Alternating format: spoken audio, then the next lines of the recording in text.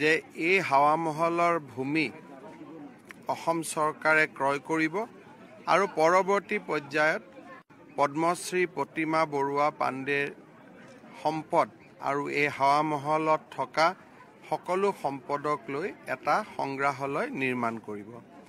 আজি আমি প্ৰথম পৰ্যায়ৰ সফলতা লাভ কৰিলোঁ। প্ৰতিমা বৰুৱা পাণ্ডেৰ পৰিয়ালে এই ভূমি আমালৈ হস্তান্তৰ কৰিলে।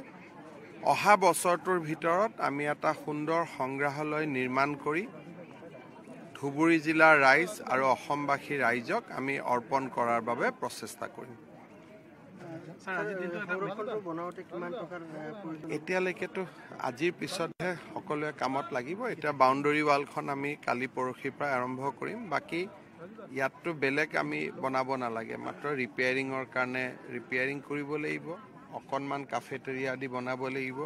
হয়তো সৰু এটা গেষ্ট হাউচো বনাব লাগিব। এইখিনিয়ে কাম আমি কৰি পেলাম। আজি খুব ভাল লাগিছে। আমাৰ আমি টিভি তৰফৰ পৰা বহুত সুখী আৰু আপোনাক ধন্যবাদ জ্ঞাপন কৰিছোঁ যে পৰিৱেশ সম্পত্তি আপুনি সংৰক্ষণ কৰিবলৈ ওলাইছে। কিন্তু যি এখন নদীক লৈ পেলাই পদ্মশ্ৰী বৰুৱা এখন গীত গাই গীত গাইছে সেয়া কথাটো কি? খালি কথাটো ক'লে হ'ল। হয় মানে গোটেইখিনি নদীটোৱে বিক্ৰী কৰি দিছে গোটেই বিলটোৱে বিক্ৰী কৰি দিয়া হৈছে। কোনে কাক বিক্ৰী কৰি দিছে জানিবতো দিগদাৰ মই সুধি লওঁ বাৰু কথাটো অলপ ডিচিৰ লগত মই পাতি লওঁ।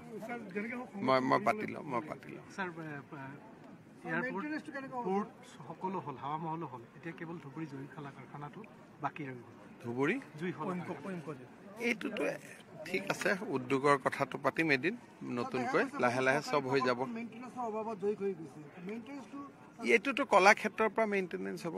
শংকৰদেৱ কলাক্ষেত্ৰ ছ'চাইটিয়ে মেইনটেইন কৰিব এদিন চাব আহিম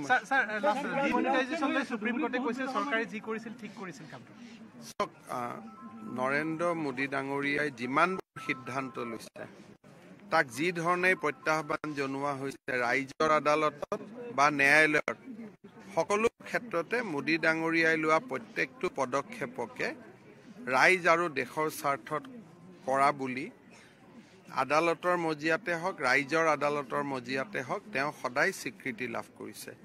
আৰু মই ভাবোঁ বিৰোধী আহ, নৰেন্দ্ৰ মোদী ডাঙৰীয়াক প্ৰতিটো কথাতে সমালোচনা নকৰি সহযোগিতাৰ পথেৰে আগবাঢ়িব লাগে। ইয়াৰ পৰা লৈ গ'লে। হ'ব। Thank U thank U